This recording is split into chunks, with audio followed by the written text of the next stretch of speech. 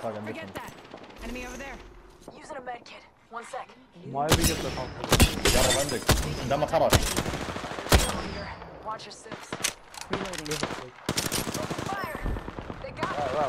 ترى صاحبي الحمار ما قاعد يطق جيت والله